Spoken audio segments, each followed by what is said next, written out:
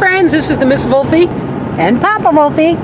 from our half acre homestead and we are on the road today. We are on our way to a little town outside of Cornwall, Ontario to look at a mating pair of bourbon red turkeys.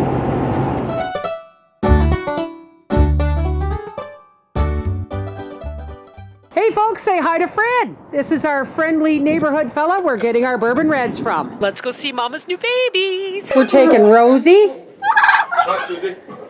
Hi, sweetie pie. She's really sweet and sociable. She comes over, she struts a little bit, but she comes over and she talking to me. You want to come home with me?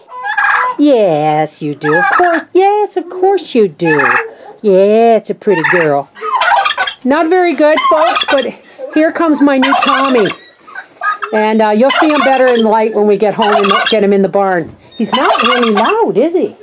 He's got a good one. He's got a good gobble, but it's not like like It's higher pitched, eh? yeah. Some enchanted evening. Oh, look at the handsome boy. Yes, he is.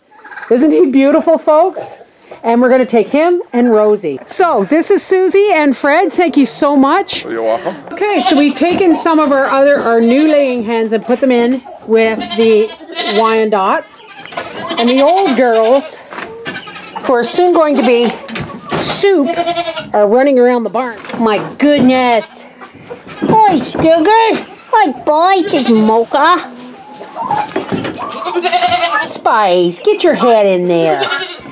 Get your head in there. You silly saucy thing. My goodness. So here are our bourbon reds. Haven't decided what we're going to call him.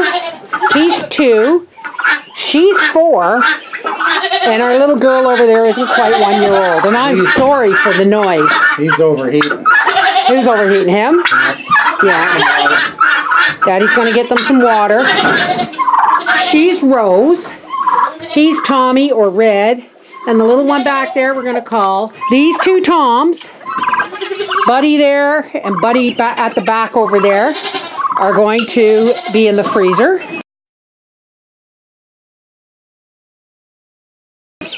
And that hen right there and that hen right there are going to be part of the harem for Big Red.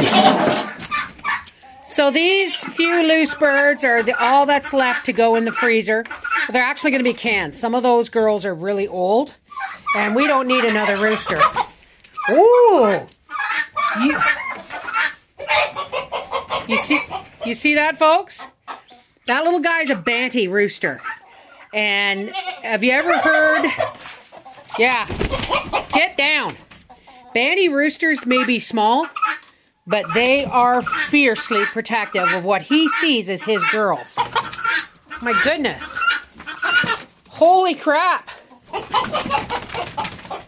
There you go. Yes, he's protecting his three girls. And if you don't think a banty rooster can mate with those large chickens, he does. Because I see some birds on the nest here. Alrighty. Oh, there's an egg. And I think she laid one too. Hi, sweetie. We're going to call you Lavender. This is our new hen. You didn't get to see her last night because my camera wasn't working. She's a mixed breed, but she's kind of lavender and she's got a bit of fluffy cheeks and a little bit of a top crown to her. And she just gave me an egg. This is the Miss Wolfie from our half acre homestead saying we'll be back in a week after our a few birds have been butchered and we have things reorganized in the barn. All right? Take care. God bless.